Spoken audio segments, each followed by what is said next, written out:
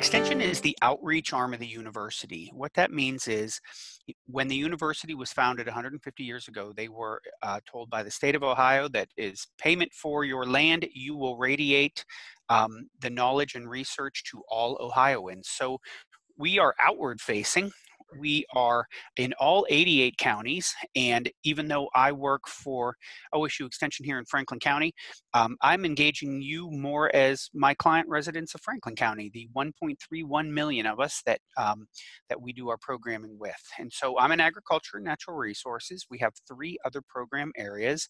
Community development is about uh, financial literacy, Family and Consumer Sciences, FCS, is uh, nutrition and health.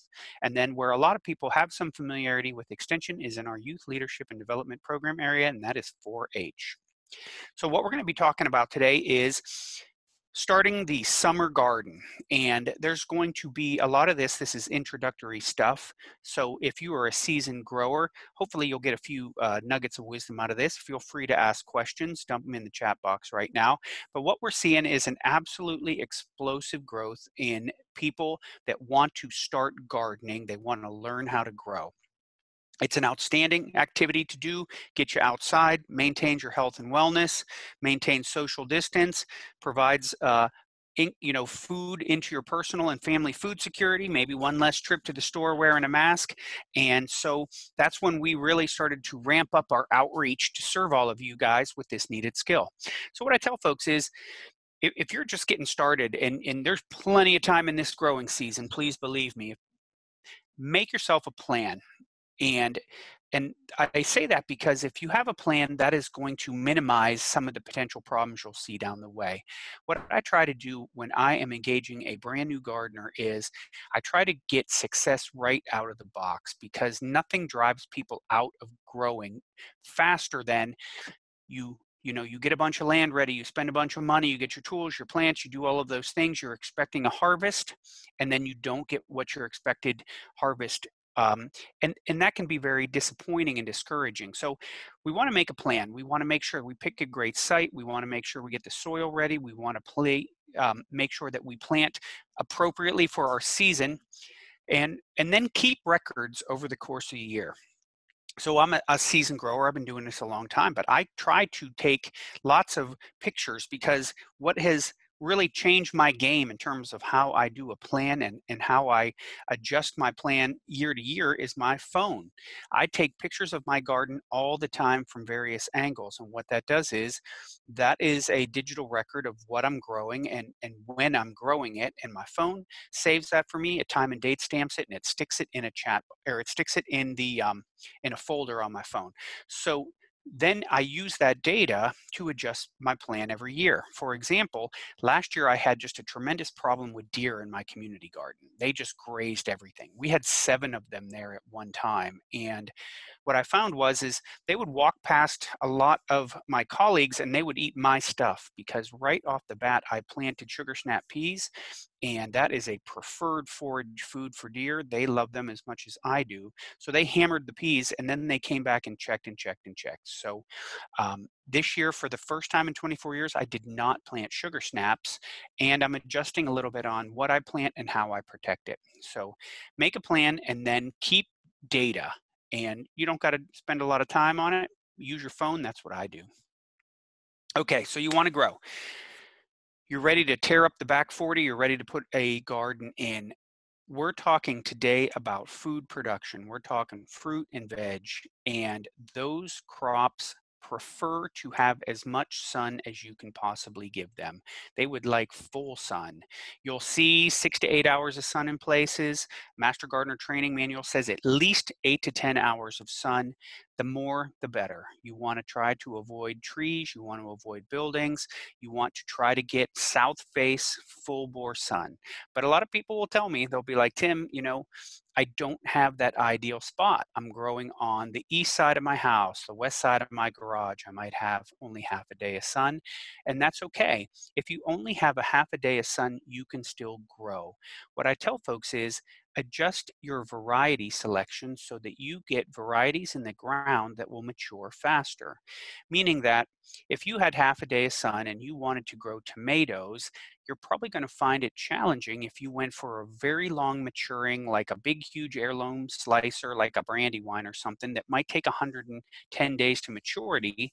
Whereas if you picked varieties that matured quicker, maybe cherry tomatoes, maybe saladette styles like a Juliet, or some of the early ripening tomato varieties like First Ladies or Early Girls, those are closer to 55, 58, 60, 65 day maturing, which means that you will get a harvest. So the way we talk about that is the right plant in the right place if you want to plant something, try to find a variety that matures faster. You'll find that even within different plant varieties, there can be a very wide range of, of maturation times. So choose the right plant for the right place. And then let's talk about watering for a little bit. We just had a really interesting uh, shift in our last seven days or so. I measured nearly six inches of rain on the two day period that we had early last week on the rain gauge. And then we went Friday into four days of 85 and higher degree temperatures. And actually, most vegetables hate both of those. So we've had some swings in our weather. But make sure that you realize that when we're talking food production, especially vegetables, especially vegetables at maturity that are in heavy harvest, they need a fairly decent amount of water. So as you're making your plan and you're getting your garden in place, what is your watering strategy? What is your watering source? You're going to need to be able to get water to that.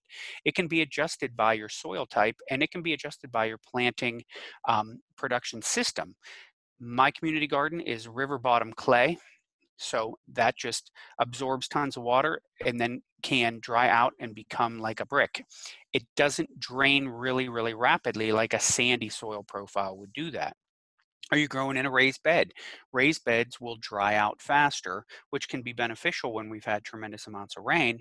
But if it's really hot out there, they are going to dry out faster, and that means you might need to irrigate more.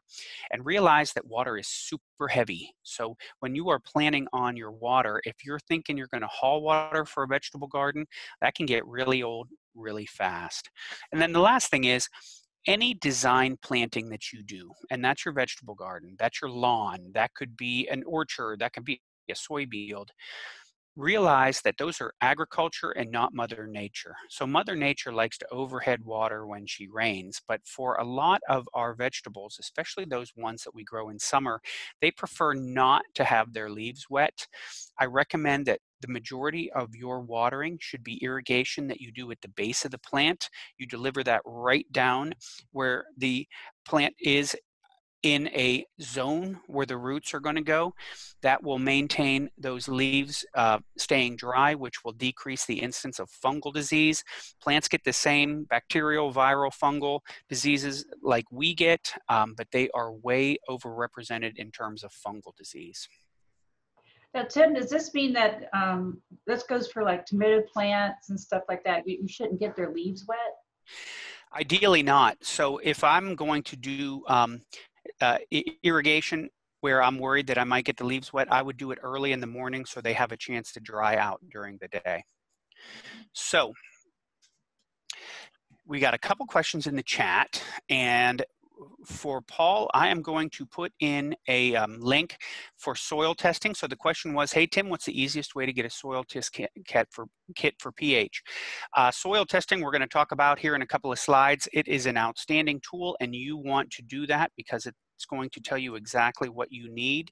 Um, the problem that we have is we normally would sell soil test kits out of our office, but since we're closed, I'm recommending folks go to this company right here, Spectrum Analytic. You can look them up online. They are an Ohio company, and right online you can download the form needed to sample for that, and you can harvest a soil sample in the root zone about six to eight inches down in your targeted area you want to plant in send that to them let them know what you're going to grow there, and then they will guide you based on those results on what you need to do for your fertilization strategy. And then um, there's a question about propagating lilacs from cuttings. Uh, we are probably okay um, in terms of doing softwood cuttings. I like to use brand new growth, that end of brand new growth. Um, we just had our flowering of our lilacs. I can see mine right outside the window right here. For highest level of success for your softwood cuttings, get the brand new growth um, as green a growth as you can get and get that in a pot and um, and uh, create sort of a humidity dome around that. So right there, eight lilac cutting rooting right now. Perfect. Okay.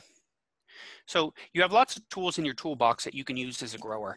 One of the things that I like to do is I prioritize my soil health, right? Because once you picked your spot, you figured out how you're going to water it, the input that you really get to adjust going forward is you get to adjust your soil health. I do that by trying to add as much organic matter as I possibly can in there as well as try to mitigate loss of organic matter. I want to spare the loss of it through things like harvest and tillage and working the soil. Other tools in your toolbox that I like to use, especially if you're getting started um, or you're in an urban environment with, uh, with limited space, things like raised beds. I'm a huge fan of mulch, whether that is an organic or non-organic mulch. Crop rotation is a great tool in your toolbox. Integrated pest management, meaning instead of just relying strictly on you know a pesticide to treat pests realizing that you have lots of different things that you can do in terms of timing of your planting, maintaining beneficial insect populations, maintaining biodiversity, um, because we have a number of pests now that are pretty resistant to almost every pesticide. And then the use of season extension, which we'll talk a little bit about, but I like to grow all year long, and I find that Ohio is an outstanding four season, 12 month out of the year growing environment. So, Plants have a certain number of nutrients that they absolutely have to have. The majority they get from soil. Some of them they get from water or air, like carbon, hydrogen, or oxygen. The key thing to realize is these are rate limiting. So if they are deficient in any one of these, the plant's growth will stop until that is supplemented, and then it will raise to wherever the next rate limiting nutrient is. A soil test can tell you all of them, even through the minor nutrients, although most base soil tests really only go through about four or five of the, um, the most important macronutrients when you add organic matter into your soil, you are adding all of these nutrients because organic matter at its very nature is pieces of things that were alive in the past, which means they're going to have all of these nutrients in there. And then realize they don't need them all in the same amounts. Some of these they need in parts per million. Some of these they need in very, very large amounts but they have to have all of them. And if there's a deficiency in there, it generally manifests through some sort of stunted growth or color change in the leaves or def um, deformalities in the leaves. And, um, and that's where we talk about how important a soil test is.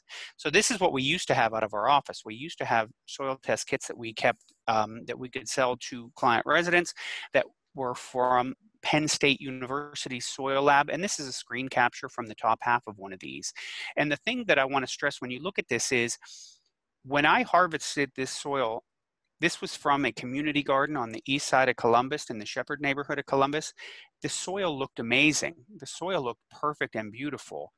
It was rich and crumbly, and you would have thought that you could have put a plant in here and you would have had amazing growth when we got the test result back, what we found actually was it was tremendously deficient in both phosphorus and potassium. So if a grower would have put plants in here and not addressed these fertility problems, they would have had a horrible year. This is a recipe for disaster. One of the things they would have grown tremendous amounts, however, of is weeds, because weeds do not read the soil test they don't care how much fertility is in there. They live here. They're used to nobody feeding them. And this would have been a tremendously weedy patch. Generally, what we found is if you match the fertility of your plantings to the plant that you wish to thrive in that situation, they actually can compete pretty well with weeds. And in fact, a lot of times, um, a really weedy area is more indicative of nutrient deficiencies um, present in that area. So that is where we recommend now that you would send that to Spectrum Analytic. And it's a it's um, it's great. It's like $12 for the soil test. And the thing I like about Spectrum as compared to Penn State is Spectrum actually has organic matter on their test as a normal component of that. So this is basically the best 12 bucks that you would ever spend. And I recommend that this becomes part of your plan. You don't necessarily have to do it every year unless you have really bad um, deficiencies. I tell folks, get it to where you want it and then maybe check about every three years or so. So there's two common ways that folks will add fertilizer when they're growing. You have a slow release um, large particle like a granular. Think of how you do your lawn when you get the bag of fertilizer and you do a drop spreader or, or uh, a sling spreader going around on that. They rate for about two or three months of feeding. Um, you want to make sure that you get a complete fertilizer so that it has all the macro and micronutrients in it. The other way that fertilization is done is generally with a water soluble product where you deliver the nutrients in the irrigation into the root zone. Those generally recommend to be done about every week, maybe every two weeks on there. One of the things to realize is depending on which system you have, you're going to have a faster acting or a slower acting onset of, um, of positive effects when you do your fertilization. So if you're seeing a nutrient deficiency, you probably would not want to remediate that with that slow release granular. You're going to use a water soluble product because it's going to go much faster up into the plant system. But when we see rainfall events like we had this past week where we had just tremendous amount of rainfall you can lose fertility really fast in the soil profile especially if it is that water soluble product. And we saw this last year. If you guys remember last year the growing season was pretty unusual in that it was tremendously rainy multiple two and three inch rain events on any given week all the way up through june. And right around the 4th of july weekend it stopped turned 95 degrees and didn't rain again barely until Labor Day. What this hap- what this what this did is anyone who had happened to plant their summer veg in a time window in say May or June when people normally are planting those plants, even if they gave adequate fertility at that time, that much rain just completely drove that out of the soil profile. And I got lots of um, complaints from growers who were sending me pictures of their plants in very stunted growth. And when we talked about fertility, they had fertilized. But what had happened was that much rain had actually driven all of the fertilizer out of the soil down into the subsoil where it was inaccessible to the plants. So if we have rainfall events like we had the other day, which was a six inch rainfall event, um, if you had been using water soluble fertilizer and in any you know period up to a few days before that, you can assume that that was completely washed away and um, made unavailable to the plant. So the guidance on here of feed every couple few months or feed every week or every two weeks are guides. You need to adjust that based on what kind of uh, irrigation uh, or rainfall events we have. So let's talk about organic matter for a second. Um, like I said, I try to work on this a lot. And if you get a soil test from Spectrum, it's going to give you a percentage of your soil that is uh, the organic matter fraction. And the ideal would be 5% or greater. But I can tell you that's not as easy as it sounds. That sounds like a very tiny number, but, but that 5% is where the magic occurs in the soil. And I'm always trying to work on mine and increase it. Last test that I had, I had about 3.8%. It takes a long time to build up organic matter in the soil. It can take a very short time for that organic matter to get lost by heavy tillage or, or by heavy rainfall events. So I'm always trying to build it, but I'm always trying to minimize my loss of it. Lots of ways you can add compost is one. I'm a composter. I have a compost pile. I've been uh, using it heavily. In fact, my pile is probably 80% gone right now. Um, Manure, when I worked in the country, I could get composted manure or manure that I would add generally in the fall. So it had enough time to incorporate and break down in the soil. So we had a safe planting situation. And then leaves is something that I build my compost pile out of, and I use as many of them as I can get my hands on. Leaves are outstanding sources of organic matter. If you think of what a leaf is, think of how a tree grows, right? It sends its roots deep down into the subsoil and it scavenges up nutrients that would be unavailable to most plantings. It turns that into leaves, which are organic matter, and then sprinkles them all over your yard in the fall. There's a reason why most cities and municipalities actually will send a truck to vacuum those leaves up off of the tree lawn when you put them out there or they'll do a yard waste pickup is that's found money they turn that into compost and sell it back to us. It's not because they like us or because they're being super nice. They actually can make a product out of that that is worth something. So make sure you are using your leaves. Um, like I said, what I do is I try to use up my entire compost pile by the fall, and then I start my new one with the leaves from the trees in my yard. So there's actual data that supports this, right? That state up north did a study and they found that for every 1% that you can increase your soil organic matter, that is a 12% increase in crop yields. And that is a unbelievable uh, number. If you can get a 12% increase in yield without extra fertilizer just by working slowly on building up your soil organic matter, that is really gonna impact your harvest in a positive way. So what is compost? I don't know if we have any composters here. Basically, what I do is I have my leaves, that's my carbon. My nitrogen or my green source is kitchen scraps. I don't add anything else in there. I don't have a source of a manure that I would add uh, into my compost pile living in the city here. But what I tell folks is compost is that end product of the decay of organic matter. And, and why organic matter is so important in the soil is it is a intermediate sized particle that spaces out the two major particles in soil, right? You have clay particles, which are extraordinarily tiny, and then you have sand particles, which by comparison are absolutely giant.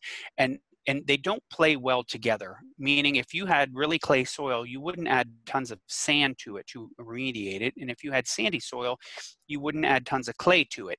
That that's basically the recipe for a brick. You need to add an intermediate sized particle that will space those out a little bit. And the nice thing about organic matter is it has tons of binding sites that holds onto fertilizer.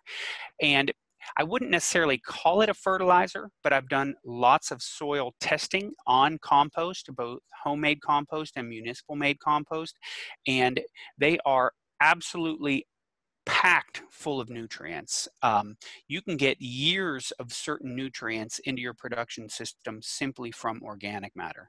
So what I call it is this, the amendment of choice uh, for all soil types, and I am always working on trying to get mine um, increased. All right, let's check out our chat question. Tim, is driving out of fertility applies to the lawn as well. Yes, it does. So um, I am going to reapply. I started, so the question is, Tim, is this driving of fertility applies to lawns as well um, as gardens? And yes, it does. The fertilizers that most folks use, if you use a drop spreader and you put down, um, you know, that, that fertility that Generally, they recommend you feed your lawn maybe three or four times a year. That much rain that we had probably has caused some leaching out of that. I will um, reapply here soon. I don't like to apply lawn fertilizer when it's in super um, hot weather like this. It doesn't work as well. And um, I, I generally need to irrigate a little bit if we get deep into summer um, but I will be addressing my lawn fertility as well because I'm on my second year of me redoing my lawn and I don't want to lose all the work that I put into it. So two major ways that people grow, and both of these can be fabulous ways to grow in a backyard environment. Raised bed growing versus row crop growing. Row crops generally um, are used uh, in, in most high production agronomic systems because this is something that you can do with machine planting, machine fertilizing, and machine harvesting to get very large production out of that space. Um, the thing that I don't like about it is if you take a look at this picture of this cornfield and while the machine is only going to go through it a few times when it does its planting and harvesting, in a backyard garden, you're going to be walking on the pathways between your plantings very commonly. And that's where the roots of most of those plantings are, especially laterally rooted crops like tomatoes or corn.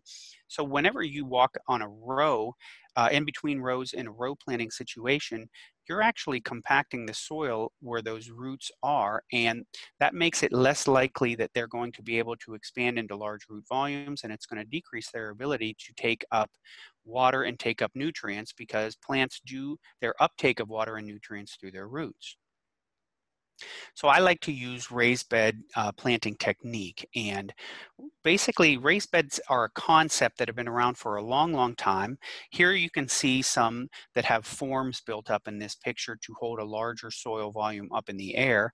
It doesn't necessarily need to be that way. Originally, they were just formed with a garden rake to get about two or three inches up um, off of the ground level. They have some pluses and they have some minuses. For example, they warm up faster in the spring and they drain faster in wet weather, that's a good uh, thing in the spring, but in the summer, they're going to heat up faster and they're going to dry out faster. So you realize that there's pluses and minuses in your raised bed system. The thing that I really like about them is I make them to a size where I can reach from the outside into the middle of the raised bed where I never ever have to walk in my raised beds. And what that does is it avoids compaction of the soil. So avoiding that compaction of the soil by never walking on it means that I will always have an uncompacted great soil tilth where my roots of my plantings can extend in all directions out there, which allows them to grow much larger, healthier root systems. Also, in a row system, if you are watering, if you are applying nutrients, you generally are applying it around the plants, but you'll get some bleed out into the rows where that's um, eh, where that is going to decrease kind of the efficiency of that system because that's where the weeds can be. With a raised bed system, I concentrate on my inputs, my watering, my weeding, my planting, my organic matter, fertilization, everything goes in the growing system area and I don't have to do any watering, weeding, or anything like that on the outside paths because I use mulch there. Uh, so it maximizes my inputs in my growing space. Now, sizing of a raised bed is very, very important because since you don't ever want to walk in it, you need to make it so that you can reach into the middle for planting, harvesting, weeding, or whatever without stepping on it. For average adult sized people, that is about four feet wide. You can reach the middle of that without stepping in it for tiny sized humans, if I go to school gardens or things like that, I recommend that they make them about three feet wide because their arms are shorter. And even though they will still run up and down through the middle of those raised beds, um, at least you made it a width that should work for them. So four feet wide, it can be as long as you want it to be. Realize though that you'll have to walk all the way around it to get to the other side. And and then when you're making your garden plan, if you decide to go with a raised bed system, make sure that you do a little bit of math ahead of time. So if we go back to that picture right here, a four by eight raised bed at 12 inch tall boards, that's 32 cubic feet of soil just for that one bed. And a cubic yard of soil is 27 cubic feet. If you do multiple raised beds, make sure you do the mathematics so that you know how much soil to get because you might find that you need a tremendous amount of soil where you're getting a bulk soil delivery. So this is a picture of my garden, and you'll notice that I have no forms in this garden. Uh, this is a multi-acre community garden that gets rototilled with a Ford tractor, so it is not a permanent um, space in terms of what I can build on it. Everything has to be removed because the bush hog comes through November 1st and then the tractor comes through again with the rototiller April 1st. I still use raised bed technique. It's not perfect because the soil does get mixed with my neighbor's soil. So I, I can build soil health as much as I possibly can in my space, and then I share some of that with my neighbors. And depending on their management system, I might not be getting back um, as good of soil health. But I do what I do in my system, and I use raised bed technique, meaning that if you take a look at this picture, where the mulch is, and you can see it extended out this way, that's where the tractor tire drove, and that is where the compaction from that tractor of several thousand pounds has really compacted that soil. So that becomes my pathways for the entire year. I used to be able to get lots of organic matter mulch when I worked in the country. Now I use plasticulture, which I like even more, to be honest. Then I use a garden rake and I form a raised bed in between these tractor tires where the rototiller had loosened the soil. And then this is my raised bed. So that is where my inputs go. That's where all my um, planting goes. That's where my fertility, organic matter, all of those things. And then I never walk on that again for the rest of that season. So it's a raised bed modified technique, but it it's me making do with what I have in my system. If I had any sun in my yard, I would love to have a bunch of raised beds up there, but my yard is deep shade under walnuts, maples, and hackberries, except for one tiny little spot on my driveway. All right for we got a question for raised beds should there be anything on the bottom of the bed we put down trash bags to avoid weeds? Is this okay? So i recommend that if you have anything near decent quality soil underneath your raised bed that you would not have a liner between the raised bed soil and the soil underneath because that is going to improve over time as you work on your soil's um, health. And the nice thing is, is those are spots where you can get extra root growth out of your plantings. Now, there's a lot of folks that if they build raised beds and they put it on really poor quality soil, or I've even seen raised beds put um, on parking lots or other uh, completely unusable, where they had to build high sides up that way. Those ones um, would generally have a liner. So, especially if you had some kind of contamination from maybe heavy heavy metals or something like you might have on some of the um, remediated urban sites.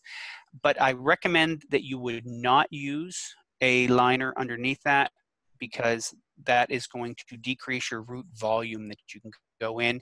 If you are creating a raised bed from scratch and you had some weed problems underneath it, and I've done that before, what I do is I put a liner made of organic matter like uh, layers of newspaper or layers of thin cardboard. And what that does is that is going to kill the weeds that were on that space, but then break down slowly over time. So it will kill the weeds, turn into organic matter, and then over time, those plants are going to be able to use that increased space for potential root growth. So since you mentioned walnuts, is there a way to mitigate the dreaded black walnut poison problem and how long does it last in the soil after a tree is taken out? Um, so I will tell you that my compost pile is underneath my walnut tree. And while I don't intentionally add any of those walnut leaves into that compost pile, I used my front yard maple tree leaves. There are some remnants of things that might fall into it. And I've never seen a problem interaction from the juglone toxin in my plantings. Now that's finished compost and it's diluted out with lots of other organic matter. Um, how long does it last in the soil after a tree is taken out? Jug, juglone is present in the roots, and so depending on how large that root volume was, it, it might be there for a while. Having said that, I have not really seen um, or had sent to me any real big problems with juglone toxicity from any number of vegetable plantings. And uh, like I said, I mulch with compost and I use my compost with plants that have historically been listed as having a problem with it, like say tomato family, and I've not had problems with that.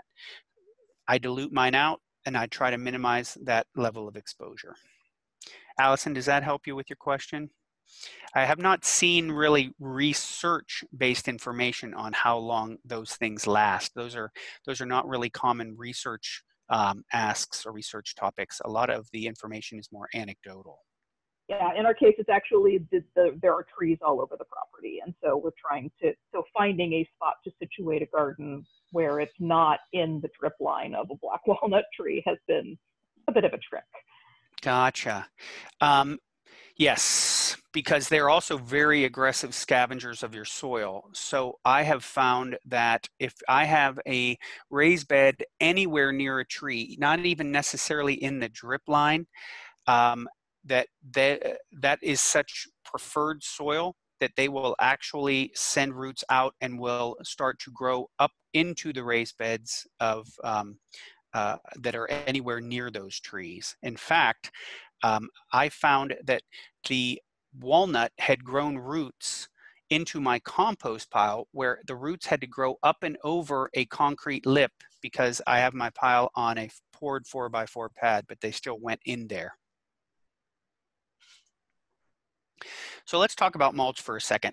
Personally, I think mulch is the number one tool in the toolbox of a grower. It does so many wonderful things. You have a couple different forms of mulches that you can use. Organic mulches that are commonly used are things like uh, hay or straw, maybe shredded leaves. Some folks will use lawn clippings as long as they have untreated lawn clippings. I used to use those uh, on a high rate and now basically I've moved mostly into plasticulture because I'm in the city and I don't have that source of uh, unlimited free spoiled horse hay like I used to have. But I will tell you, I love my black plastic mulch. It is a fabulous product. I use a woven product. Um, that way, I know that it's permeable. The woven product actually lets moisture and oxygen move through it, so I don't get that anaerobic environment underneath the mulch. So the roots that are under that are still going to be able to get, um, eh, they're going to be able to get the effects of rainfall and, and the soil will dry out. Multiple benefits by mulch conserves soil moisture and it minimizes those peaks and valleys of that dry out, get wet, dry out, get wet. It cools the soil as well. Most plants would prefer that the soil temperature in the root zone is closer to about 70 degrees where it can get really, really hot otherwise. And then it does um, a number of other controls on things that I don't like to do. So basically my two least favorite jobs in the garden are to weed and to water and mulch takes care of those. So I like to call it work control. Think of ways that you might be able to incorporate mulch around your plantings because uh, there's been a lot of research that shows that you will have much higher yields that way. If you use an organic form of mulch, like when I used to use um, hay a lot, I would just incorporate that into the garden in the fall so that that organic matter would break down into the soil. So crop rotation is another tool in your toolbox. And what crop rotation is, is a three-year period of growing vegetables in the same family in the same space, okay? So you don't grow the same vegetables in the same family, and that's an important distinction in the same space that allows any effects from diseases, pests, or weeds to minimize because you use different forms of management on different vegetable families, as well as plants from the same vegetable family are similarly impacted by diseases. But a lot of folks will tell me, Tim, I can't do a crop rotation in my space because I only have one raised bed. And so, what do you do if you only have one raised bed and you want to minimize your impacts of disease or things like that. That's when you use the other tools that we talked about in your toolbox, right? That's where you would use a soil test to gauge the fertility needed for that individual planting. That's where you're working on your organic matter. The higher level of organic matter that you have in there, that is going to drive increased production yields. That's where we're using things like mulch to make sure that the environment where the roots are for that plant are in the healthiest state it can be. And you might want to pick a variety that is resistant to disease um, because there are multiple different varieties of lots of the different vegetables in the vegetable families that you can select for disease resistance. So if, if you can't do complete crop rotation or complete raised bed technique or, or complete any of the tools that we talked about, try to incorporate as much of those systems as you can into your production to get an increased effect by using lots of small inputs. So here's what I mean when we talk about vegetable families. Different vegetable families have different um, members in there. Think of them kind of like cousins, right? But when we look at, say, the Solanaceae family, which is the nightshades, tomatoes, peppers, eggplant, potatoes are all cousins in the same family. So when you do your crop rotation planning, if you had say a production space that was in tomatoes the next year you want to make sure that not only do you not plant tomatoes in that space if you can but you wouldn't do peppers or eggplant or potatoes or other members of that, that family. Knowing it can be difficult to really do a great job with crop rotations especially if you have less space than you wish what i tell folks is prioritize at least the three majorly impacted families by pest, weeds, and disease. And that would be Solanaceae, which is the tomato family. That would be the brassicas, right? Cabbage, broccoli, cauliflower, collards. And then the third family that gets the most impacts from insects, pests, weeds, disease, things like that would be the cucurbits. So your zucchini, your pumpkins, um, summer squash, winter squash, vining fruits like uh, watermelon, cantaloupe, honeydew, cucumbers, things like that. Those are the three that I try to do my best job on crop rotation, but you guys saw my garden. That tractor is mixing all the soil in there. So knowing that I can't do a 100% perfect crop rotation, I still try to grow those three families in different locations in my same um, garden uh, from year to year. And that's where my plan comes in, where I can take pictures and I can find where I planted and, and make sure I modify my planting areas each year. So one of the things that uh, I like to follow is soil temperatures. And when we think about plants, both the roots and the seed of the plants all exist in the soil. So when we chart when to plant and when we chart um, the impacts that that temperature is going to have on plants, we don't do as much of air temperature monitoring outside of worried about frost we like to monitor soil temperatures. And in the College of Food Ag, in our OARDC weather system, we have soil test or we have soil temperature monitoring stations throughout the state. The one that I use is the Columbus one. That is um, a soil test reading that is taken daily on Waterman Farm, and I checked it this morning, and we are right about 70 degrees. And the interesting thing is, is soil temperatures move in response to air temperatures, but they change slower and they don't have quite the impact. But this 80 degree temperature run that we've had the last several days really drove soil temps up. So when you, if you went back before our cold snap, we were probably about 57, 58, 60 degrees, and a lot of people were planting their summer veg outside. Then we hit multiple nights in the 30s and even down into the high 20s, and that drove soil temps back down in the 40 degree and below range. Then they started to come back up, and we entered that rainy phase. And those cool nights drove the temps back down a little below 60 but now we're in the sweet spot in terms of planting your summer veg right now. So what can you plant right now? We are right on the far edge of spring planting. And i say that meaning that you can still do a lot of your spring planting veg right now, but I would kind of modify what I would plant and I would modify the form of what I would plant them in. I would probably put lettuce transplants in right now. I'm not sure if I would start lettuce from seed right now. Uh, the reason is started from seed lettuce is probably going to have a little bit of germination problems in warm soil as well as you're going to be maturing that in July when it gets really hot outside. Having said that, if you picked some of the varieties that do better with warm weather, like a black seeded Simpson or um, Four Season Marvel or some of the romaine varieties, they tolerate heat a little bit better. Very similarly with radishes, if you started from seed right now, you're going to get maturation in the warm weather. And what that does is that makes radishes really spicy. But if you like that, go for it.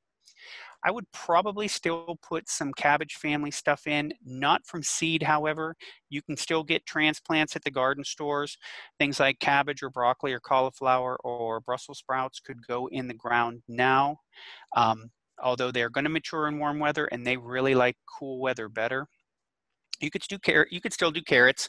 Onions, I wouldn't do from seed right now. Those would be best done from either um, sets, which is what looks like miniature onion bulbs, or from transplants, which are sort of skinny, dried out looking green onion things. Um, they have been grown to a certain stage, and then they were uh, they were pulled and sort of arrested in that stage, and then growers put them in now. Onion seed, I wouldn't start right now. It, it just takes so long for them to germinate that you're probably going to miss that time window where they're going to need to um, ripen in the correct size. I'd still do potatoes easily. Those are planted from seed potatoes or planted from potatoes that you cut up so you have individual eyes, which is the growing point off a potato. Green onions are my sort of one, um, one outlier in the onion family. Those could be started from seed right now. They will grow just fine. Uh, and then beets and Swiss chard, both of those would be started from seed. Um, realize for both of those that when you plant those seeds, that's actually a seed packet and there's multiple seeds inside that little meteor looking thing in there that you'll need to thin those to the strongest one.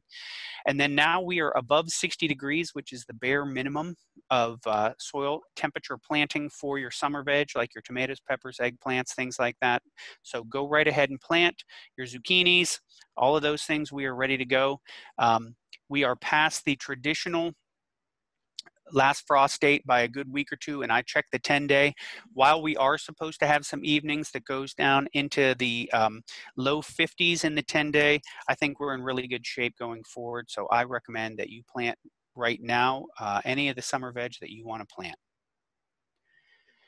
And then what i recommend to folks is don't just plant a whole pile of some one thing at one time if you have the ability to grow it in multiple small amounts. Or if you're going to grow it a lot, realize that there's a number of different crops that you can plant both in spring and in summer that you will get harvests over a long period of time because we have such a huge time window to plant them. For example, I just put in my third planting of green beans um, this past weekend. I started some green bean from seed about a month ago, and I will do a small patch of green beans every two weeks all the way until probably the first week of August, where that will give me a steady harvest for multiple months as opposed to one giant harvest right now. I do very similarly with cucumbers and zucchini, especially because they can be really negatively impacted by insects, uh, cucumber beetles, and things like that. And I do the same thing with basil. I um I grow basil multiple times during the year. When you're growing basil, it, you know when it gets to that point where it's starting to try to go to seed and, and the flower head's coming up and you're trimming it and you have you know the leaves are getting tinier and they're not really that beautiful productive basil that it was earlier in its life cycle you know basil's an annual and once it gets to that point i say let it go I start basil at least three times during the season. I've already got some started right now that I'll eat early in the season. I'll do a second planting to have great um, tender leaves ready for when my tomatoes are ready.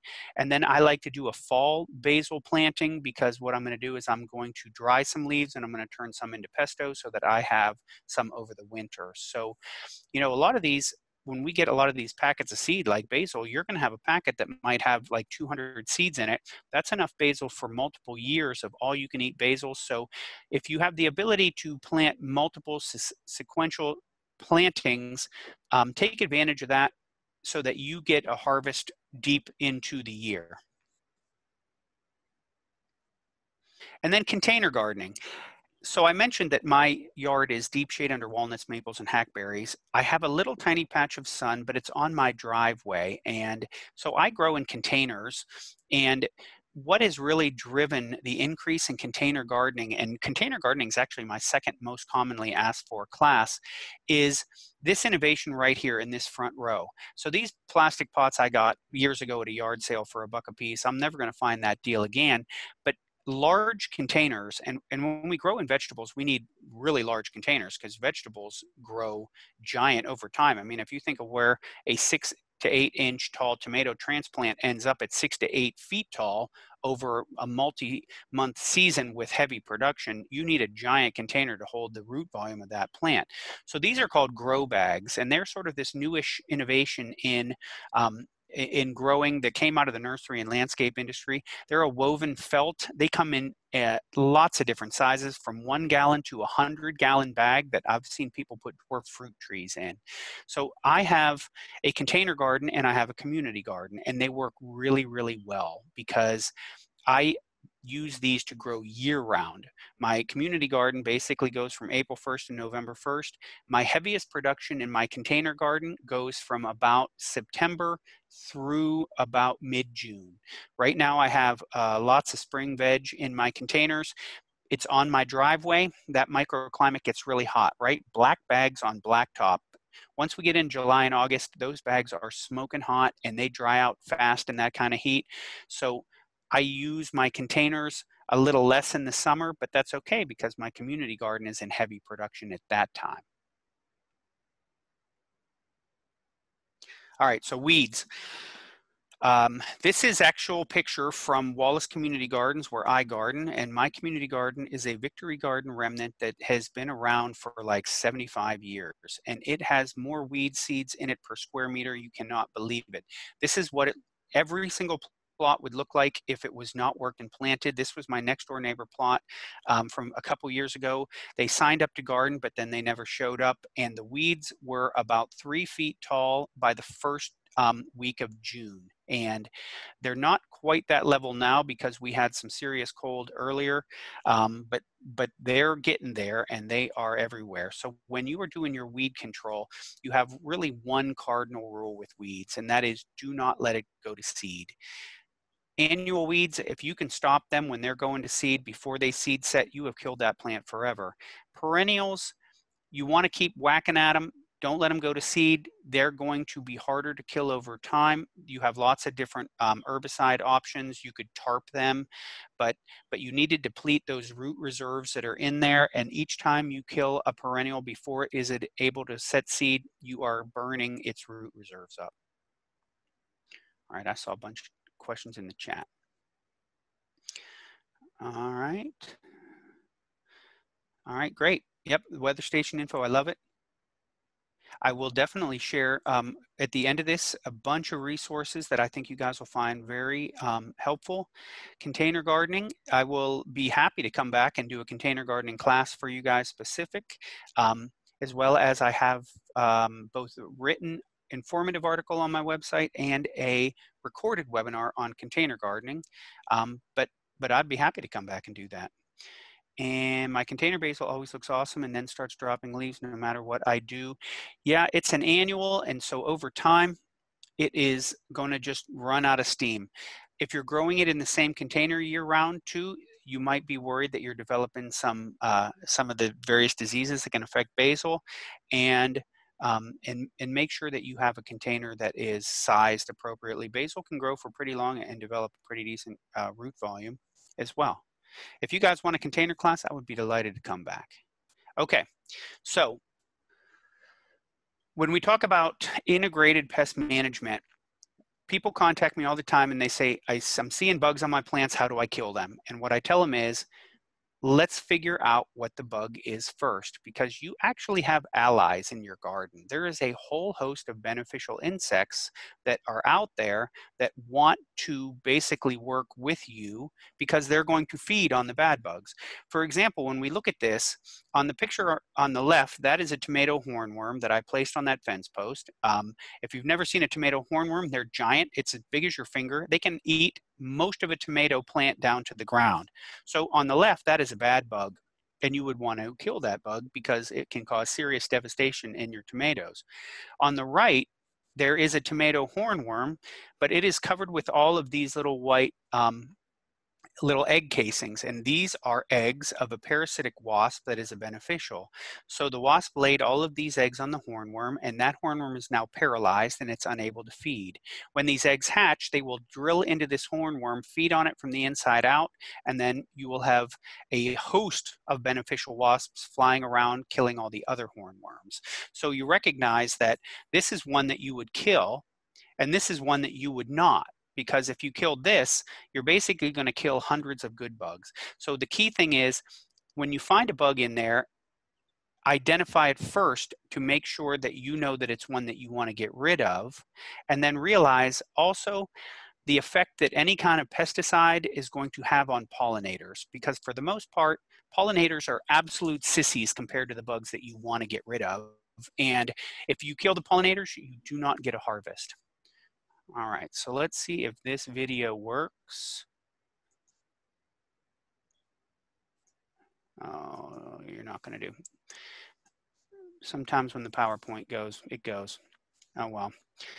Um, I'm gonna stop my share and I'm gonna jump into the chat and I am going to, um, you guys dump stuff in the chat. I wanna share a couple different resources right now that are out there that you guys can use especially for folks that are getting new to gardening. So,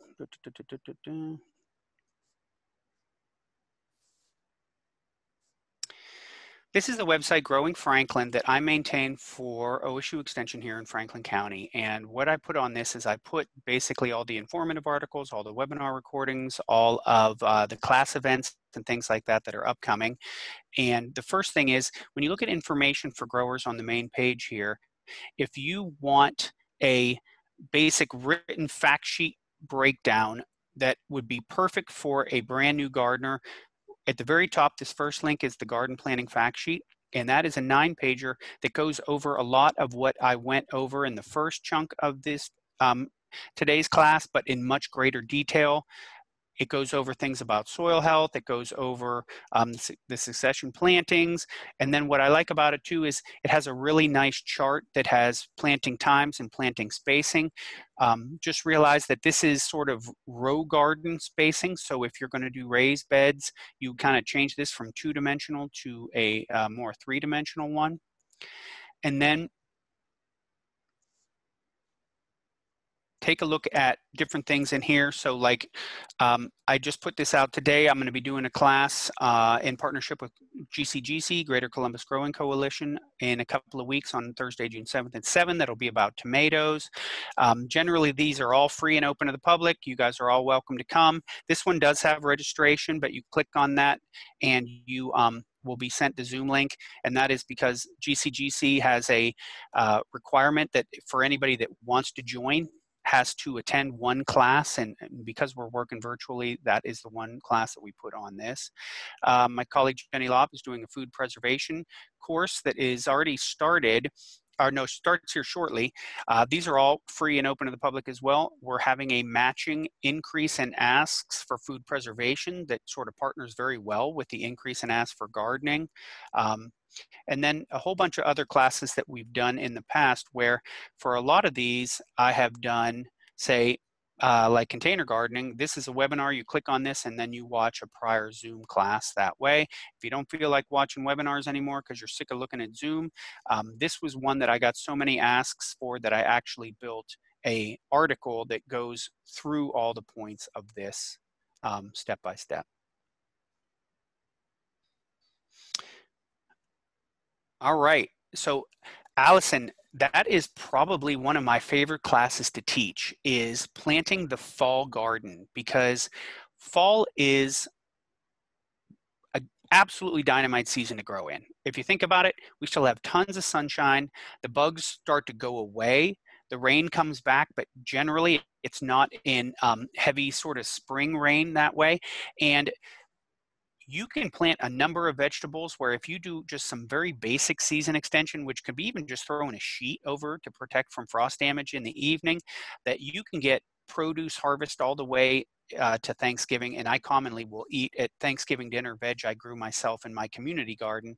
Um, just by doing some basic techniques. So I am doing uh, a class. Uh, I, for fall planting. I already have several of them scheduled, but if you guys would like that class, I would be happy to come back and do that because there are some little tips and tricks about planting in the fall just to make sure that you realize what is pollinator dependent, what's not pollinator dependent. Um, but generally, the pollinators are super happy when you plant a fall garden because everything else is dying and they're looking for some flowers. So I get generally really good pollination then. All right, we are at two o'clock on the nickel. And so um, I'm happy to stick around if we got a couple more questions in the chat. If not, I want to put in here my email so that you guys, my client residents, if you have any questions or concerns, or you see a, a, funny looking bug, or you have a weed that you need identified, feel free to send me pictures and I would be happy to assist you guys um, as we stay home virtually. Right. Rabbits from raised beds. Um, so nuisance wildlife is the bane of my existence, and I use um, I use bird netting that I trellis over my container garden. Uh, I can't really do anything at my community garden because it's multi-acre without a fence other than trying to kind of fence in some stuff that they would really eat well like my green beans for my containers um, rabbits, chipmunks, and squirrels would get in there and cause all kind of havoc. So that is completely wrapped in bird netting right now. Hmm. Good to know. Anybody have any more questions for Tim? I just want to say thank you, Tim, for, for this presentation. It has been awesome. I've just been seeing a lot of good feedback in our chat. And, oh, um, my pleasure. Thank you for organizing. oh, no worries. It was, it was Jason uh, was one of the ones that gave us a heads up on this.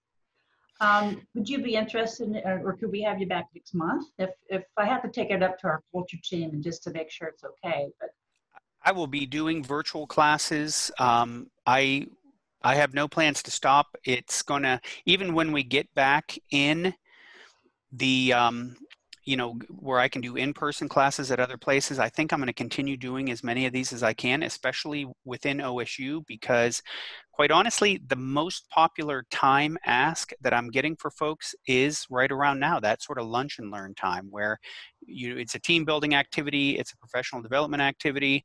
Um, that is my most popular ask is, can we do something between say uh, 11 o'clock 12 o'clock 1 o'clock to break the day up a little bit and um, and I mean, you're still staring at Zoom, but hopefully it's a, a little less um, brain intensive. And um, and so I would be delighted to come back, take a look at whatever uh, class topic you want. Happy to do container gardening, um, pest, weeds, and diseases. You guys just let me know. And um, Barbara knows how to get a hold of me. Uh, you guys actually all know how to get a hold of me, right? yeah, you gave away your info. Yeah, that's all right. I encourage everybody if you got a question or a problem, just send me an email. I, I try to check my email seven days a week. Right now, I'm scheduling. I have a little bit of time in the second week of June. I'm going to go on vacation the third week of June. Um, um, and after that point, I have really good availability. So would you like do like a, a, a follow up to this class, like more of an advanced one, or what do you think would be a good one? So, I mean, you guys tell me what you want me to do. Uh, uh, what I do a lot with my programming is I try to move sort of seasonally. And um, so I will do what I used to do when I was able to go on site is in partnership with like a, uh, an urban farm or a community garden, I would have what's known as a garden walk where the people would invite me to come to their space. When I came there, I would kind of go over the scouting reports for the insects and the weeds that we're seeing right now that are really heavy and, and are really causing a lot of problems. Then I go over weather predictions. Um, and then I go over like here's what you can plant now or here's what is ideal for harvest and then I just say to folks now ask your questions and and people we just walk to different people's places and they get to ask questions about what they're growing uh, so it's a little less structured and a little bit more interactive and a little more q&a we could do that um, or you guys could pick a, uh, another topic that would be um, a little more in depth, like a integrated pest management one for pest, weeds, and diseases. Um, container gardening is one that if you want to do focal stuff, uh, I just love my container garden. It gives me so much less problems in my community garden. It's unbelievable. And um, and another one that's a fun class that's a little more advanced that is uh, later in the season one is how to use season extension to plant so that you can harvest over the course of the winter. Is that the actual name of it? That's a name. That's a long name. that's a long name. I might need to tighten that name up a little bit. You guys, uh, if feel free to wordsmith that into a smaller one. But yeah, I overwinter spinach and kale pretty much every year under row cover and um, wow. and harvest that. Hmm. Interesting. Great. Yeah. So season extension and, and things like that are fun and there's that's another one where there's great innovations that are inexpensive that people can use in the home environment um, and it just allows you to get some extra veg into your system you know in february that's amazing so my biggest takeaway of this today is that mulch sounds like it's very important component of gardening that yes i i do i think so um, I never thought about mulching a garden, to be honest with you. I mean, a vegetable garden. Yeah, especially like I get a lot of questions about tomatoes and the different fungal diseases that affect tomatoes because there's a basically there's a number of different fungal disease: early blight, late blight, septoria leaf spot, um, and a lot of those are caused when it rains or there's overhead irrigation, the fungal spores are in the soil and they splash up on the tomato leaves. And that's why you kind of get tomatoes where the leaves at the bottom of the plant start turning yellow and brown and falling down. That is a, a fungal blight that is spreading. So I use mulch around my tomatoes, knowing that I'm still going to get the blight over time because you, you can't completely stop it, but I try to make sure that I'm getting tomatoes in August and September and October and try to make my tomatoes die from cold and not from disease. And the, the, the work mulch does on soil cooling and, and suppressing weeds, things like that, um, it, it, there's, there's lots of great data on increasing your production on that. What type of mulch did you say you used? So I um, my predominant mulch that I use is a, um, a black plasticulture mulch. Its name is Sunbelt. The company that makes it is DeWitt. I buy it in large rolls on Amazon. Uh, there is an initial upfront expense, but I try to take really good care of, of my grow bags, my plasticulture mulch, my row cover, all of those purchased inputs. Um, I'm on like year five with my plastic and it, it looks brand new. I buy, it's super heavy weight stuff. So a roll initially at a hundred bucks, we're now down to 20 bucks a year. Um, I don't cut holes in it like you'll see. A lot of folks will actually cut holes and plant right through it. Um, I try to bring mine up kind of close up the sides of my raised beds and then have a narrow space where I plant in um, you know, like as a patch, and then I put organic uh, compost mulch around the plants. So I use a lot of that plasticulture mulch in my pathways and then up close on a lot of plantings. And um, straw, if I can get it inexpensively, straw prices are pretty expensive now. You have to go out in the country to find straw where it's not going to break the bank.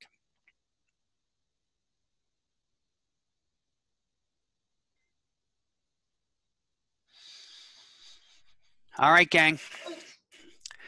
Barbara, you let me know what uh, what the team wants for class number two, and then we'll pick a date. And I'm happy to do it. You guys have been a great crowd, great questions.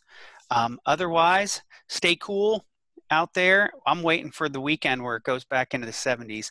I'm more cabbage than pepper. I, I like cool, uh, cool and cloudy more than hot and sunny, quite honestly. Yeah, I don't know what you mean. well, thank you again, Tim. I really appreciate it. And uh, Thank you. the team on, on Friday and we'll discuss and, and figure out what we're going to do from there, having you back. Cool. Okay. Well, thank All you. right. Thanks, gang. Have a good one. You too. You too. Take care. Bye bye.